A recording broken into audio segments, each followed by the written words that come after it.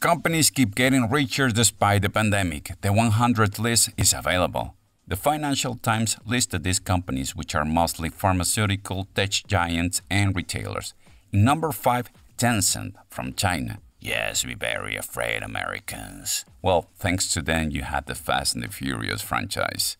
Number 4, Tesla, the one that finally made work electric cars. Number 3, Apple, the one with overpriced electronic products designed in California but assembled in a third world country. Number 2, Microsoft, the creators of Windows, the blue screens, and Internet Explorer. And of course, the number 1, Amazon, with $401 billion.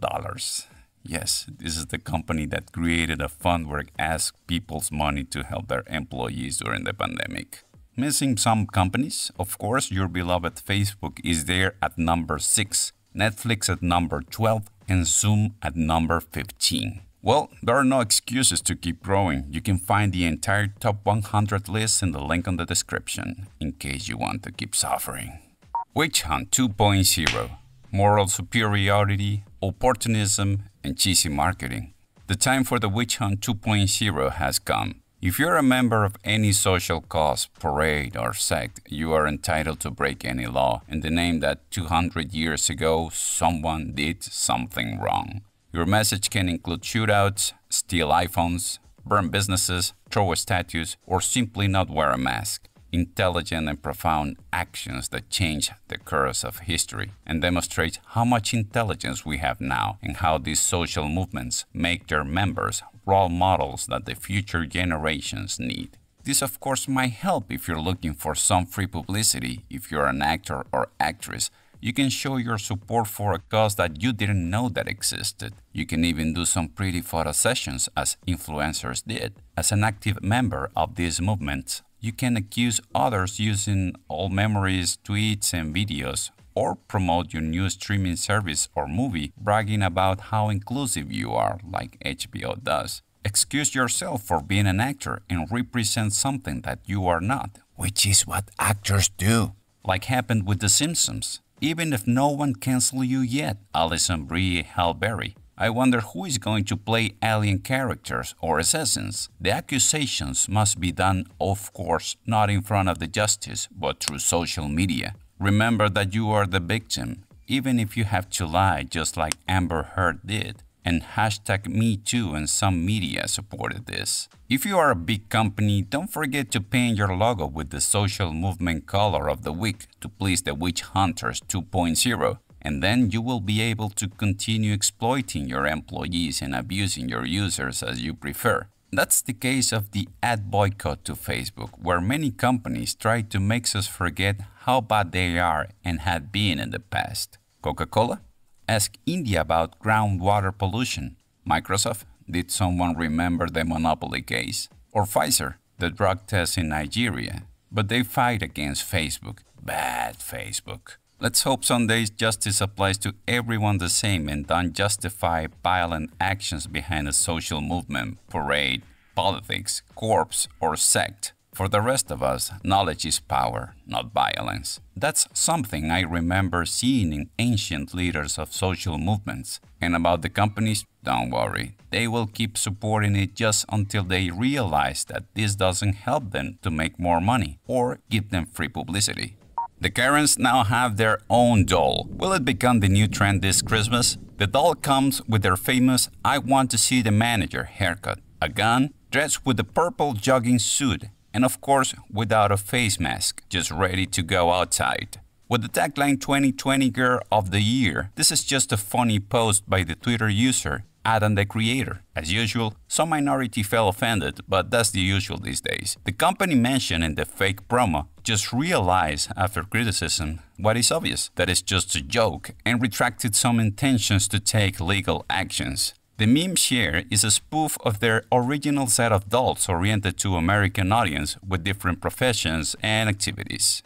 The comet Neowise will be visible to all hemispheres informally dubbed Neowise after the telescope, but officially labeled C-2020 F3. Neowise is an acronym for Near Earth Object Wide Field Infrared Survey Explorer. It's said to be the brightest comet seen for a decade. Although already visible to the naked eye, the object is still faint and binoculars will offer a better view. We can see images now on social media from Russia, United Kingdom, United States, Mexico, and of course the International Space Station.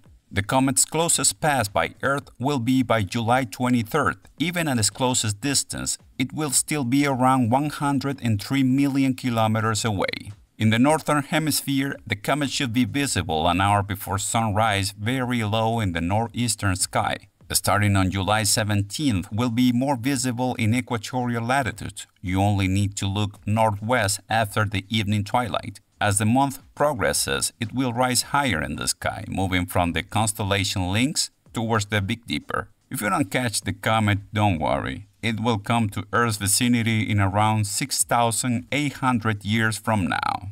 Tired of being at home? Now you can drive and listen radio around different countries. The developer Earcam created a simulator which, after selecting your favorite city from a list, allows you to just drive and listen to local radio stations. The list of cities goes from Amsterdam to Zurich, and he keeps adding more cities to the list. If you want to drive and chill for a while, check the link in the description. You can also contribute with the project if you wish.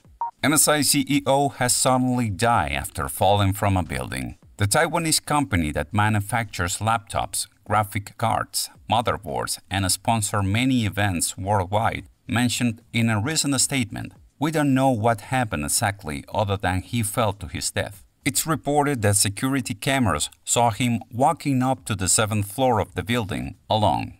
Shortly afterward, security guards heard a crash in the car park. Upon investigating, they found him lying in the car park. An ambulance was called, but Charles Chang sadly passed away after arriving at the hospital. He was promoted to this position in January 2019 after running their desktop platform business division. He was 56 years old and he was with MSI for over 20 years. His fall has been investigated by the Taiwan police since. According to the family, Charles had no reason to commit suicide.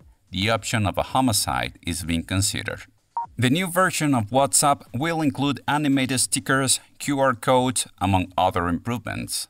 The official blog of WhatsApp confirms that with the upcoming updates, they will be rolling out animated stickers grouped in packs, QR code to easily add contacts instead of typing, dark mode for the web and desktop, improvements to group video calls. The status updates will be available in KaiOS, so be sure to keep your app updated.